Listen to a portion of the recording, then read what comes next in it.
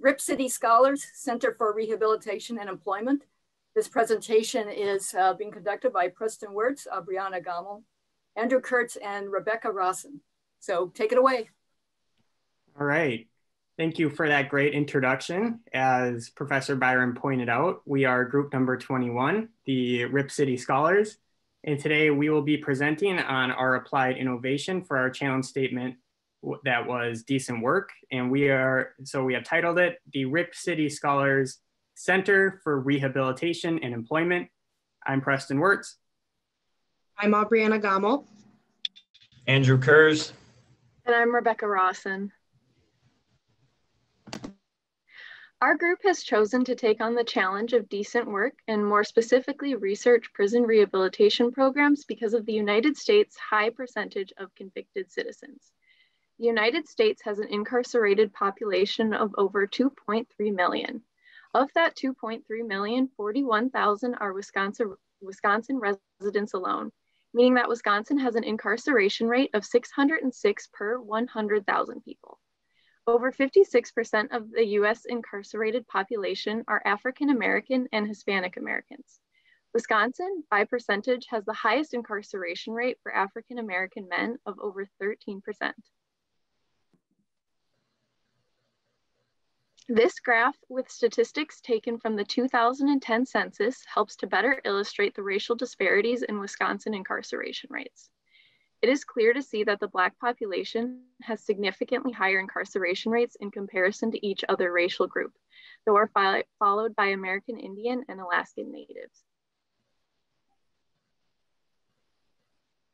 Causes of these overall high incarceration rates and apparent racial disparities are the large emphasis on low-level drug offenses and overall heavy reliance on reincarceration tactics like the three strikes law.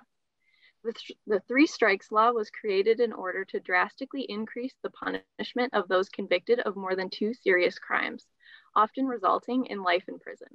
Misdemeanors may count towards these three strikes, and many states have some form of the policy, which has greatly helped contribute to the United States' large prison population. Outside of the three strikes law, strict sentencing protocol result in the largest portion of reincarcerations. This graph from the Bureau of Justice Statistics helped to better, better illustrate the sheer amount of incarcerations resulting from parole or probation violations. The yellow bar in each graph represents the number of incarcerations resulting from parole and probation violations. This means that each one of those arrests was not caused by any new crime but rather a violation of rules that are set in place all too often in order to further fuel the cycle of crime and keep people in prisons rather than positively integrate them back into society. We believe that this is a pattern that must be changed because too many prisons today are severely overcrowded and underfunded, and far too many inmates are being mistreated and alienated upon their release. Rather than starting with any policy change proposals, we believe that creating a stronger support network for current inmates and better preparing them to reassimilate back into society is an essential aspect of decreasing incarceration rates. In particular, we believe that by better preparing inmates to find and keep decent work after release is the best way to go about this. All right, so as Becky pointed out, we have kind of highlighted three main issues that we see with the prison system today. These are racial disparity, lack of uh, decent work upon release, and reincarceration. So our group has focused on looking into two types of solutions that target some aspect of these three limitations within the prison system. The first type we have labeled as within prison solutions, and the other type is community-based, within prison solutions place an emphasis on education as a means for making uh, prisoners more desirable in the job market and limit reincarceration rates. Community-based solutions take another approach that focuses on providing decent work while not focusing so much on the mission of themselves. Specifically, our group has looked into two within prison studies targeted at rehabilitation. The first study was the three states recidivism that targeted education for prisoners in Ohio, Minnesota, and Maryland. This study attempted to use a controlled setting by creating two groups within each of these three prisons. There were those that were, would receive the education rehabilitation program and those that would not. Overall, the study used over 3,000 inmates. The participants in the program underwent an educational program monitored by the Correctional Education Association and was funded by the US Department of Education. After completion of the program, the study followed the released inmates for a period of three years and studied reincarceration rates. The study found significant evidence suggesting that the prisoners that chose to take the education rehabilitation program were statistically less likely to end up reincarcerated. The next within prison solution we looked into was the Kintock Group Incorporated. This was a nonprofit organization aimed at preventing and reducing criminal activity.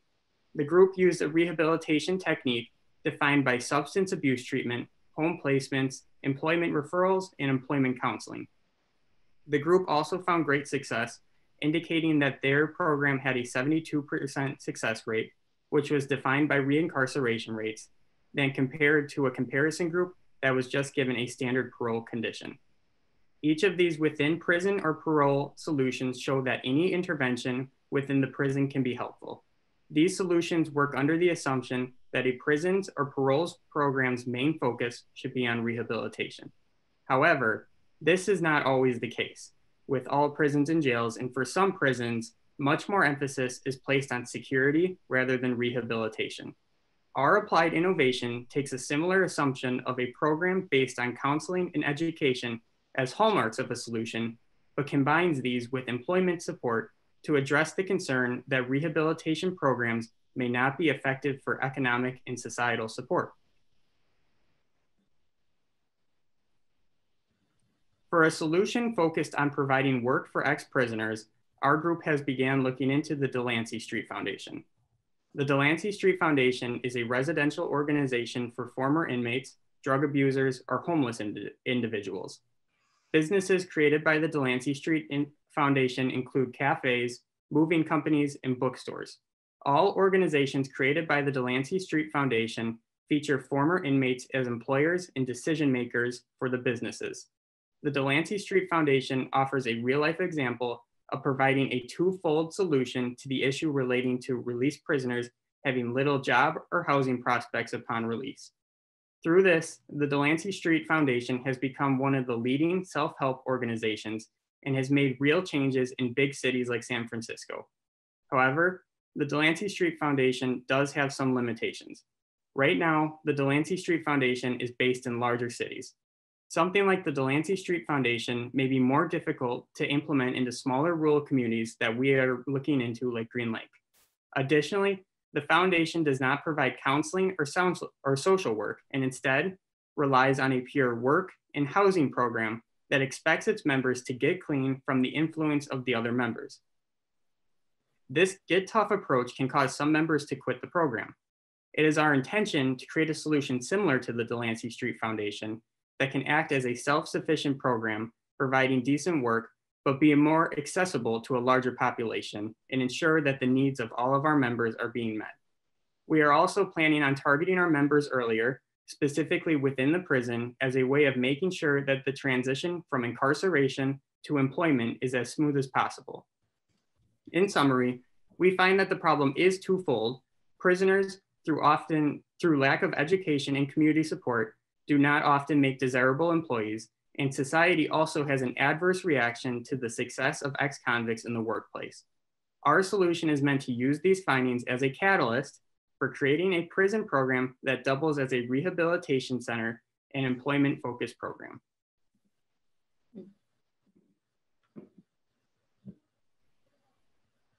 So we now introduce the Rip City Center uh, for Rehabilitation and Employment. Our program will be primarily focused on providing and setting up ways for our members to receive decent work. The program will occur entirely while the members are still in prison and will consist of 15 members at each location that we set up. First, the program will include a comprehensive approach in combining education, employment opportunities, and counseling. Our program will rely on an education to get members to a high school degree or equivalent. Educators will consist of trained educational providers that will go within to the prisons or jails to teach. Based on the limited availability of the educators, all members that choose to do the educational part of our program will be taught together.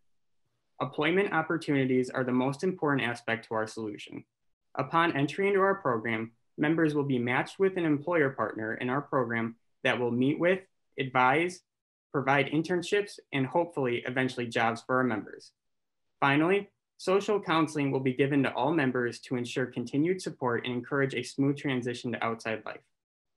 The program will begin for members at different points in their sentence due to the variability of our members. So the length of the program will follow the members from whatever point they begin the program to at least a month or two after to make sure that they are integrated properly. This is really the applied innovative aspect of our solution. It takes chance out of the equation by ensuring that our solution sees our members through to every aspect of our solution. From incarceration to education to employment, our program has precautions in place to ensure that no members fall through the cracks. As such, we have decided to focus our solution to two criminal detainment facilities in Wisconsin. For an urban perspective, we have chosen to look into Milwaukee, and for a rural solution, we have began focusing on the Green Lake Jail. We plan for the Green Lake Jail to be the first to implement our program and then expand to the Milwaukee prisons and other prisons around Wisconsin if we are successful. Potential businesses have been contacted around Ripon, Wisconsin and the surrounding areas to see if there would be community interest and if our implementation could be realistic. Of the businesses in Ripon, our group would like to partner with the Ripon Pickle Factory, Alliance Laundry, and AFK Foundry. These three businesses would serve as the foundation for our Green Lake program. All three of these corporations offer decent work to community members in Ripon and the surrounding areas and are some of the biggest employers for the city of Ripon. All of these companies offer equal opportunity and value teamwork and responsibility as employment qualifications. Emails have been sent to each of these companies regarding their experience with hiring or working with people who have been jailed or incarcerated, um, how big a factor criminal record is, and whether employees would be able to support themselves financially through a baseline position at their respective company. Our intention is for these businesses to send representatives to our program that will act as the mentors and employers to our members. These three businesses would each receive five members depending on job interest and would meet with, get to know, and discuss employment opportunities during or after jail sentence. These employees would then meet up regularly with the members, get to know them, integrate them into their community, and provide work.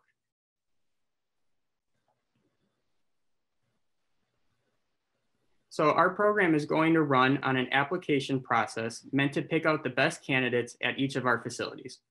Our program is going to consist of 15 members at all locations. Our program, our application process will include demographic questions, crime history, a personal statement detailing why they want to be a part of the program, and job history and, and interest so we know which of our employers we will match them with. We will not discriminate against anyone when admitting inmates into our program, and acceptance will be completely merit-based. Employees of the Rip City Scholar Center for Rehabilitation and Education will work with uh, project mentors and employers to decide who gets accepted. Program employers will meet with social workers within the jails and prisons directly to ensure that some of the best candidates are not being turned away just because of our application process. We have formed the system to account for some inmates having an adverse opinion of people coming into the jails and prisons and expecting to know their best interest. Next, I'm going to talk about staffing for a little bit. So creating a solution of this caliber will require some additional staffing from around the community. Our group is intending on hiring at least 10 individuals at each of our locations. The employees will come from a variety of background and will be filled through an application process. Our group is intending on having at least one program coordinator at each location that acts as the manager to ensure that the program is being run effectively. Members will also be matched with counselors and ensure that the individual needs of all of our members are being met. No more than five members should be assigned to any one counselor. If an education program is not already established at each location, certified educators will need to be hired and trained to provide quality education to our members.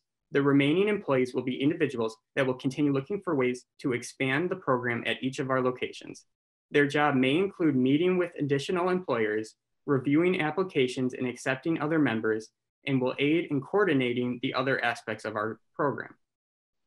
Finally, I'm going to talk about our outcome measurements and expansions. So to ensure the success of our program, we will expect detailed updates back and forth from our program counselors and employers regarding the conditions of our members. Bi-weekly meetings will be had with the members, counselors, and employers. If the facility offers work release, members will begin training for their matched employer or even begin working. If an employer chooses not to hire our member due to any circumstance, our employees will do the best they can to match our member with another employer or find more potential businesses to hire them. Our job success will be measured as the number of individuals that receive a job within a couple of weeks from release of prison or jail. As stated prior, we plan on implementing our solution in Green Lake first. And then if this is successful, we plan to use this as leverage for implementing our program into a prison. Specifically, we are looking into Milwaukee. Our end goal is to implement some sort of employment program into all jails and prisons across Wisconsin. So one of the potential barriers to our solution is funding. Um, we've done research for grants, and one that we found was the Edward Byrne Memorial Justice Assistance Grant. And this grant supports programs within a variety of topics, including crime prevention, education, mental health programs, and correctional programs. And since our solution is a rehabilitation and employment center based around the prison system, um, we definitely feel that this grant would work for us. We also believe that we could qualify for a more educational oriented grant as well, based on the fact that part of our solution is an educational system for the prisoners. Um, for other sources of funding, we also like the ideas of unpaid internships as incentive for businesses to fund our program, and also the possibility of reallocating the funds of the prison. Um, next is political slash government intervention, as this could be a potential barrier to how long our solution uh, could be sustainable. And this also sort of corresponds with public support as well, and not wanting these prisoners within their community. Um, but we are very aware that we may have to persuade people into getting on board with our solution. But we really feel that people will sympathize with these prisoners and the belief that these people deserve a second chance. Um, another barrier is finding businesses to employ the prisoners. And as prison, as Preston had talked about a little earlier, this is something we are currently working on as we have contacted a couple businesses across Ripon to see where they stand on hiring prisoners. Um, but again, we are prepared to, in order to be able to persuade people into getting on our side. And lastly is approval from the prisons. Um, we had a meeting with Professor Hatcher, who is a psychology professor that has experience within the prison system. And he really preached how the prison's number one priority is obviously security. So we believe that if we could work with the prisons and devise a way that is safe and that they feel good about, that this won't be an issue. Uh, next is the assumptions to our solution. And the first is that the prisoners will be interested in a program like this. Um, obviously, we believe that they will. Um, with them being in prison for however long they have been, we think that the opportunity to sort of work outside of those grounds would really excite them. Um, we think that they, uh, they giving the opportunity to work outside would be good for them. And also, Professor Hatcher really talked about how they they feel like the outside world is really kind of forgotten about them, and that if they find out that we're you know devising a program for them in order to work outside of the prison and just be free would be something that they would really appreciate and that would excite them. Uh, next is community support and compliance from businesses. And that's very similar to our barriers. So I'll just kind of reiterate that we are assuming that the community and surrounding businesses um, would be willing to work with us. Um, but again, we think that there are good people out there who will support us. Uh, next is assuming that employees will be willing to work within our system uh, our education program to provide high school degree, degrees to the prisoners. Uh, we'll need teachers and our mental health programs to provide the prisoners with people to talk to about their issues. We'll need social workers. So we are assuming that people will be willing to do this work. Uh, lastly, is assuming that the prisoners will do good in these positions. Um, whatever job we end up finding for them, we are assuming that they will be good, hardworking employees. And on top of that, we are assuming that they will, you know, have good social interactions with their other employees and also the people that they are serving. And we think that our application process will be a big factor into why this is successful in finding the prisoners who are going to work hard and that are mentally prepared to take on these roles. And that is why we assume that our solution will be successful. Overall, we hope that our solution will have a multitude of benefits on society, though in particular hope to overall decrease reincarceration rates and in turn help to lessen racial disparities within incarceration rates. We also hope to improve quality of life for past inmates after release, decrease unemployment rates within populations of felons, and ultimately positively change how felons of, are thought of and treated by proving that when given a second chance, they really can make a good impact on society. Thank you.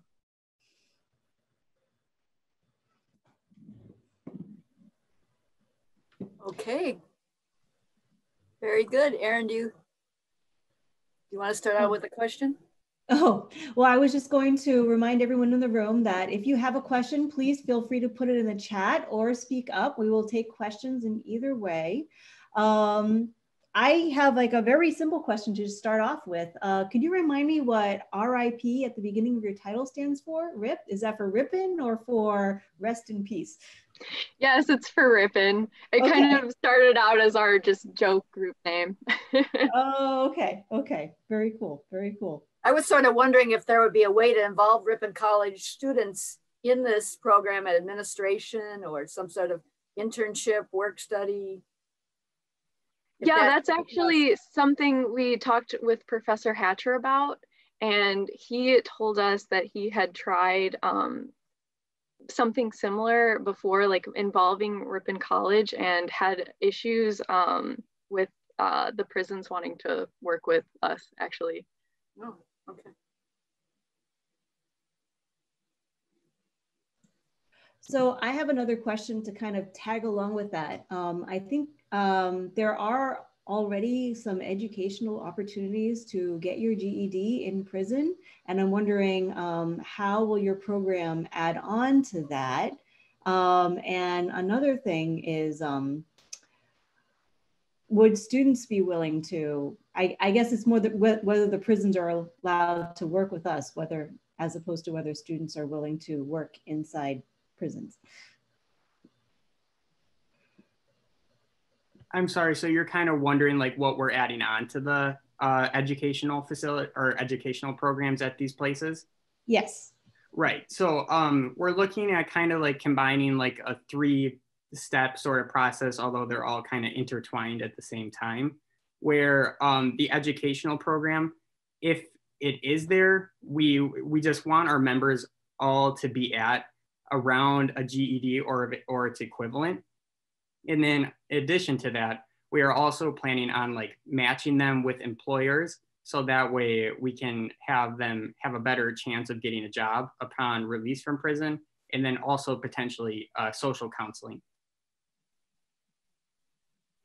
There's a question in chat. Uh, you talked uh, from Kai. You talked a little bit about the application process. Have you put any thought into what incentives prisoners would have to fill out such applications considering that it would require prisoners to be self-advocates.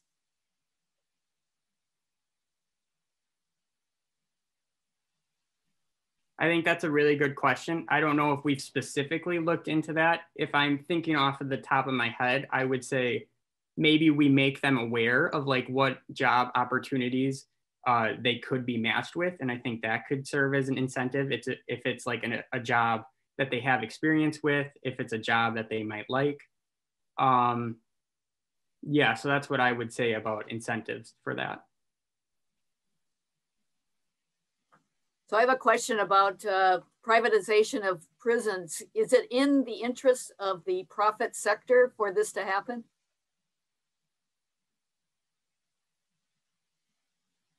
For-profit prisons? Oh, are you saying like would for-profit prisons like benefit from our solution? Sure. Or would you would it be harder to maybe even convince them to to play along? I I do think that could have a role if if um if we are implementing this into for-profit prisons because I don't know what incentives they would have for adding a program like this into it given that a lot of like uh, a big part of our program is kind of like providing opportunities for the members which kind of goes against like the primary purpose of what a for-profit prison would be to do There's another question in chat from Michelle Whitler. Are there direct incentives from the US or state governments for businesses to hire ex-convicts?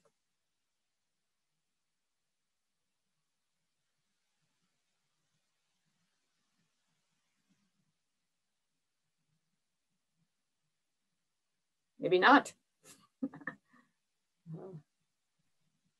um, I don't know. I think Andrew could maybe talk about the, I think that kind of goes along with our barriers a little bit, where it's like that could be a potential barrier. I, I do feel like there are probably, I think like tax breaks might be something that uh, some uh, uh, like uh, businesses might get for hiring ex convicts.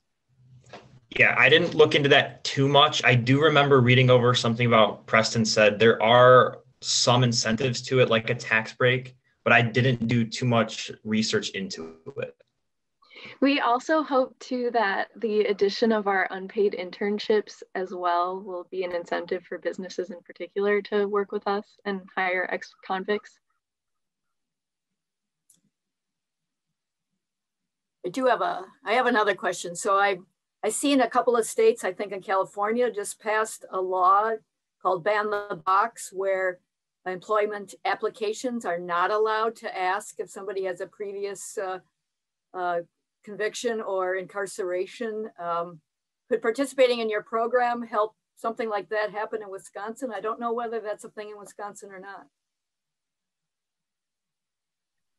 So yeah. that future employment, they won't have to say that they had been in jail.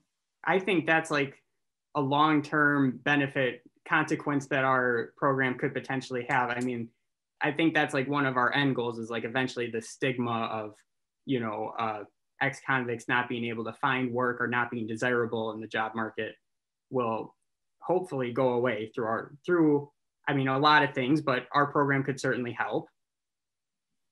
Sure. Um, I'm also wondering, um, within your program, have you thought about, um, besides having support for the ex-convict counseling wise, does that include career counseling? Um, as in, if they're getting an education, what jobs should they be applying for? What jobs can they be applying for?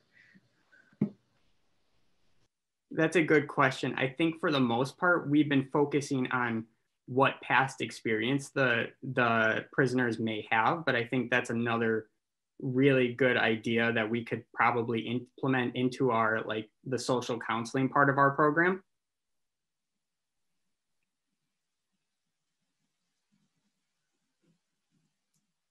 Okay are there any other questions? All right let's let's thank our presenters and um, congratulations on a great Catalyst day. Thank you very much.